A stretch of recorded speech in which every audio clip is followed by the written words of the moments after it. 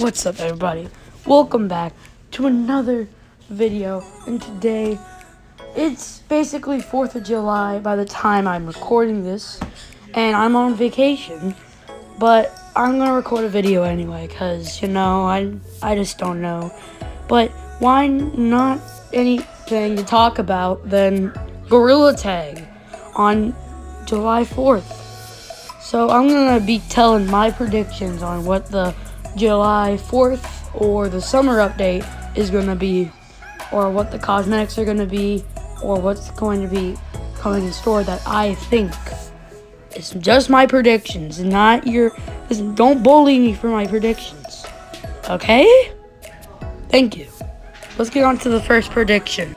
This is what I think the shop is gonna look like, you know, because it's summer and it would have like, you can see a little shark, a duck floaty, and sun, and you know, like a beach, you know what I'm saying? Because summer beach is common knowledge. I think? Common. Well, let's just move on to the first cosmetic. I'm gonna go pretty fast on these cosmetics, so keep up. First, we have the shark fin, which is 2,000. Then we have the sunscreen, which is 1,500. Then we have the normal blue floaties that are 3,000. And we have the gold floaties that are 4,000. We have the waist floaty that is 3,500. We have the goggles, 2,500. We have the bucket, 2,000.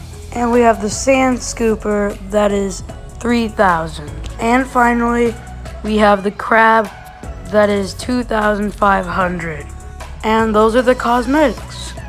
Uh, also, maybe inflatable pool or sand, you know, a sand boxer, anything for the forest, maybe? I don't know. But now, onto the 4th of July cosmetics. So we're starting off with the 4th of July hat.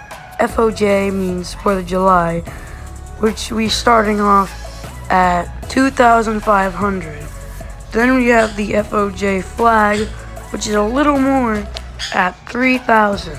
We have the firework that is 4,500 and finally the FOJ glasses aka 4th of July glasses which were 2,500 and those are all the 4th of July cosmetics.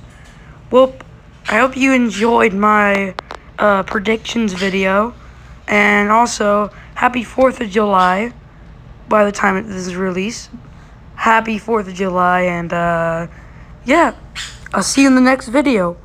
Play the outro.